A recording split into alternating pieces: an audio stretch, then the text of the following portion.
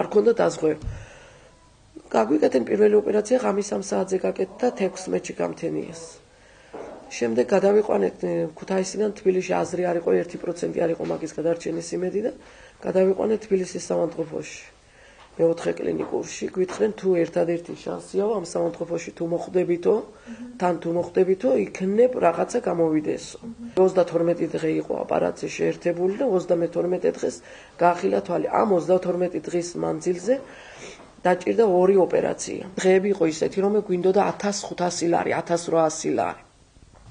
ვირა მე მქონდა აბსოლუტურად ყველაფერი გავყიდეთ აბსოლუტურად რას დახმარებით ჩემი ძმა უსახკარო დავტოვე თუ კი რამე ყავდა мама ჩემს აბსოლუტურად საყოლიან ვინიშურე და რამეს ოღონდ გადარჩენილი იყო და შემთხვევით ექიმე ექიმებიც მეუბნებოდა ერთადერთი ღმერთის იმედით თუ არა არა შანსი ამ კაცის გადარჩენა ნუ ბრძოლო არ დაგვიყრია ფარხმალ და როგორც იქნა ის თქვენ აპარატიდან გათიშვის მცდელობებიც იყო იყო დახმარებები ჯანდაცვის სამინისტროს მიმართეთ და ჩამოგვირიცხა 3000 ლარი პირველად რომ ჩავიყვანეთ სოფლელი არავის არ უნდა და იმიტომ რომ გვეუბნებოდნენ თქვენ სახლიც რომ გაყიდოთ ვერ გადაიხდითო აქანეო ამდენ ფულებს იხდიანო ამის მკურნალობა რა დაждდა ეს მკურნალობა და ოპერაცია? სამანტყოფოს ვალი დავჭა 14283 და 16200 რაც სახლიდან გადმომიგზანენ ბანკში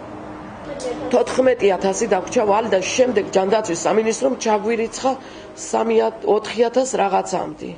და სულ დაგვრჩა მე სამოწყობოდან რომ გამოვედით 8879 ლარი ეს ვალი დღემდე მოყვება. შარშან მაგის პენსიას და ყადაღ იმას სოციალურ დაზღვე სოციალურ დახმარებას დაედო ყადაღა და თელი 6 თვე ვერ ვიღებდით ვერც პენსიას და ვერც სოციალურ დახმარებას.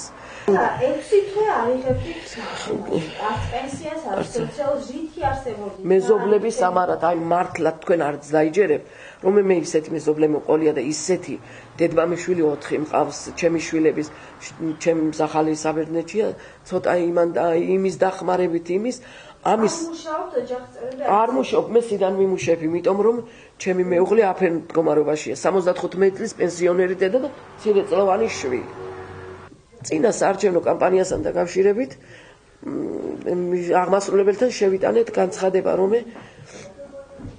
არა გვაქვს არანაირი გადახდის საშუალება და მედიკამენტები ძალიან დიდზე მიდიოდა ისე. ეხლაც მკურნალობის კურნალობის დღეში 6 თავი წამალი ჭირდება. 6 თავი წამალი სადღაც არის 6 ლარი ჭირდება ამ კაც მარტო დღეში, იმიტომ რომ ეს ძალიან დიდზე რომ არის მოხდილი, ამას ჭირდება პლასტიკური ოპერაცია, მაგრამ ჩვენ პლასტიკური ოპერაციის საშუალება არ აქვს. ეს არის ფუფუნებისაგან და არაფერი არ აფინანსებს ამას. 2500 ლარი ჭირდება მარტო კარი რომ გავაღო და შევიდეთ ჩით. პლასტიკურ ოპერაციას. მინდოდა ვფიქრობდი რომ ერთი მის ექიმთან კონტროლი ჩავიყვან მეთქი და მინდოდა ბანკიდან სესხის გამოტან. დავწერე ბანკში სესხი და სესხი დამიმტკიცენ და თქვენ ვერ აიღებთ სესხს რომ მევალეთა სიაში ხარ. ეს საარჩევნო კომპანიის წინ მომიხსნენ ეს 50 ლარს აღმასრულებელში ხომ გავაგზავნე და მომეხსნა ეს სოციალურად დაუცველებს არ აქვს არანაირი გადახდის ის არ უნდა გადაიხადონო თანხა. ანუ ეს ხალი ჩამოგაწერეს გამო. დროებით. ეს ყოფილა დროებით ჩამოწერილი. საარჩევნო დროებით ჩამოწერილი, იმიტომ რომ მევალეთასიაში მაინც წერილი. თუ მევალეთასიაში უნდა ვეწერო და ეს ჩემ შვილიშვილებს უნდა დაუტოვო გადასახდელი, მაშინ მირჩენია რომ იმ 50 ლერთ ისევ გადავიყატო ის პო. დედამთილი მოხუცი აგერ ამ ხელა დავადებული კაცი ხო და გაქნას. კაცის საქმე ქალის საქმე ყველაფერი ამის გასაკეთებელი